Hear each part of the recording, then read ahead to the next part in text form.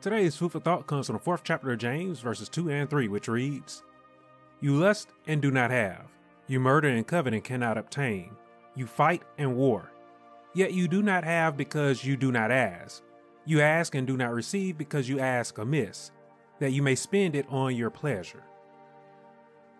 As you have heard me say time and time and time again over the years, prayer is incredibly important.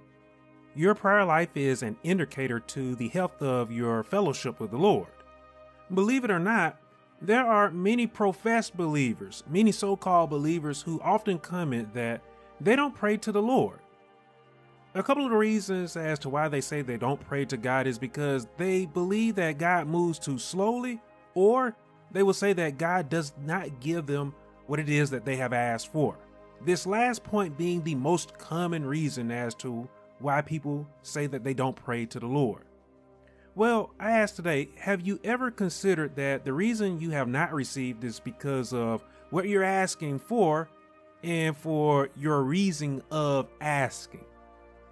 We have been promised God will give to us whatever it is that we ask for, but there is a caveat to this point. First, we must ask having faith. Very important.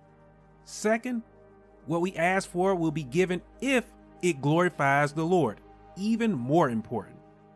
You see, some of us fail to understand this when it comes to prayer, and we truly think to ourselves that God should just give us anything because, well, we prayed. James, he makes it very clear. If you pray out of less than covetousness, you won't receive. If you ask amiss or to fulfill your pleasures, your wants, don't expect to receive anything from God. I want to be very clear on this thought for you today.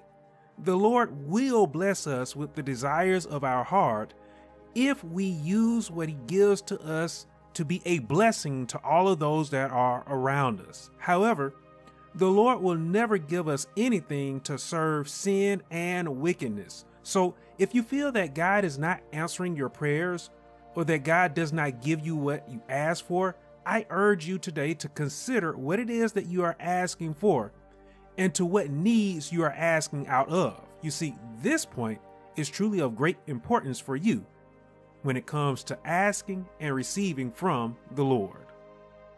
I hope my thought for today has given you something to think about, and I hope that it will encourage you, that it will uplift you, and that it will motivate you as well. Be sure that you share this thought with someone somewhere and if you haven't already done so, make sure that you're following this channel so that you can always receive my next food for thought.